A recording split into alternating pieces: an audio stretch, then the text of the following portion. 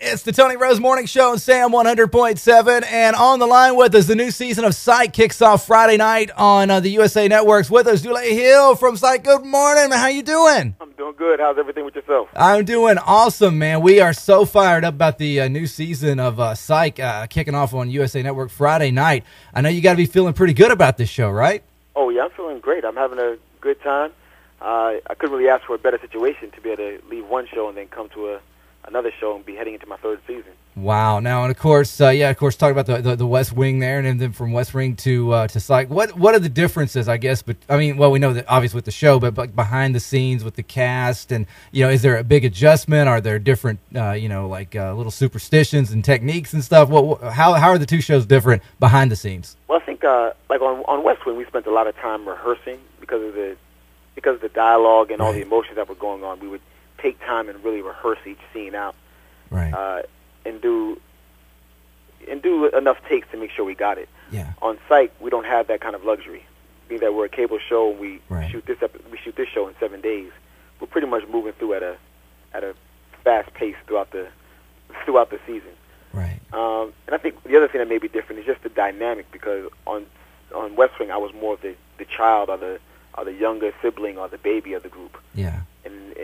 On this show I have a little more of a leading role, so it it changes the dynamic of the show. I don't have a, a Martin Sheen or a John Spencer to be to be like the the parents of the of the group and take care of everything. Now, and of course, uh, USA Network's really just uh, just embracing this show. I know you got to be fired up about the way that not only they, they promote it, but there's just they're reaching out so many different ways with this show and really making it a cornerstone of the network. You got to be pumped about that. Oh, yeah, that's great. I mean, you know, it, it hope it works better for the show. I mean, they, the fact that they're behind it, it just gives us the the uh, so early in the morning. I'm kind of blanking out. Uh, I sorry, hey, no, I, seriously, I do it every day, man. I haven't made an intelligent thought on the radio airwaves in years, so don't worry about it.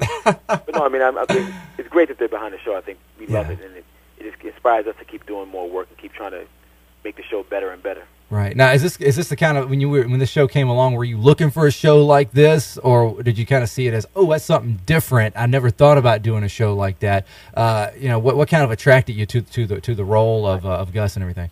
This was exactly what I wanted to do. Uh, when West Wing was coming to an end, I said that if I did another TV show, I wanted to do a comedy. I wanted to have more of a leading role, and I wanted to be on cable. Uh, cable has a we only do 16 episodes instead of 23 or 24, Right, so it gives you a chance to do to have more of a life outside of that. right, Like right now, I'm on break, and I can I just came back from Jamaica, seeing my family out there. I, I was able to. I'm flying out to New Jersey this weekend to see family. So they, you give you a chance to spend time around your loved ones, which West Wing didn't really allow me that luxury. right, Uh, right. and then I didn't want to do another drama because I figured after working with those caliber of actors and that level of writing with Aaron Sorkin and John Wells, that most likely any other drama I would do would feel like a letdown right. because not every day do you get a chance to work with Martin Sheen. you know. What I mean? So Well, you know, and, and I guess in more than anything, after after doing a drama for that long, you just want to goof off for a while, right? and that was the other thing too. I mean, I wanted. I didn't want seven years of dealing with drama and dealing with you know all these issues and having to look inside yourself and deal with your insecurities and things like that. Yeah. I wanted a chance just to go to work and have a good time, just laugh all day long and act a fool. That's what it's all about, man. I tell you, it's a fun show, and of course, uh, new season kicking off Friday night. Uh, tell us about what we can look forward to uh, to this time around with with Psych with the new shows. Uh, you can look forward to meeting Gus's ex-wife, Ooh, which is which is which happens actually on the on the uh, season premiere, and then you'll see one where Sean and Gus become fashion models. yeah, They get to visit an old age home and try, and try to blend in there somehow, which doesn't really work out too well. they, uh, they get locked in the museum. They get locked in the museum with a with a mummy running around. So Wow, that- wow. pretty interesting too. A lot of it should be a lot of fun. it's it's it's it's serious. It's it's a different take on the I guess the, the buddy cop show type thing. I guess yeah, a totally different take on it, which is really cool. Now I was checking this stuff out here before I let you get out of here. Are, are it looks like they're are they making like animated uh, cartoons and webisodes with this show and everything else, right? They are, and I really don't know anything too much about it. I I know just about as much as you do.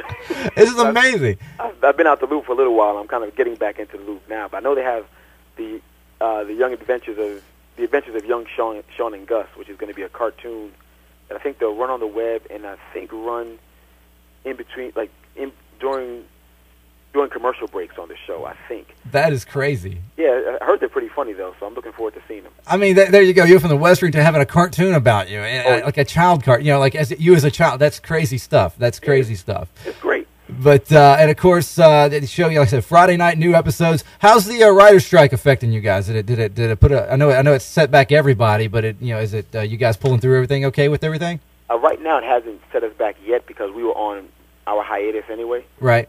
So if, if it goes on for about another month and a half, that's when it will start to affect our show. We'll, we'll have to push push our filming back for the third season. Right. Because obviously, without any scripts, we can't shoot anything. No. it'll, Yeah, I mean- it'll just be uh, Sean and Gus up there singing. There you go. Songs. Well, you know, hey, but still though, you never know. You could throw a mummy in there, maybe a cartoon on the side. You're good to go. It's all, it's all, it's all good. Uh, do you think? Do you think uh, they're going to make some progress on this uh, strike here before long?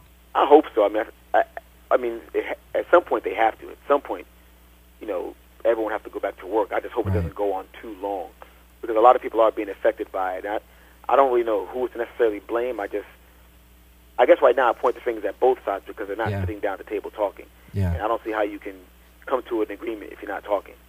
I tell you, I, I here, here's what they can do. They can just take both sides, put them on American Gladiators, let them duke it out. You know what I mean? You know, there you go. Whoever wins, that that's who wins. So it's all good. Right. Hey man, Dale, thank you for coming on, and hanging out with us this morning. Continue best of luck on Psych and uh, all your future projects as well, man. You're a great guy, and uh, we wish you nothing but the best in 2008.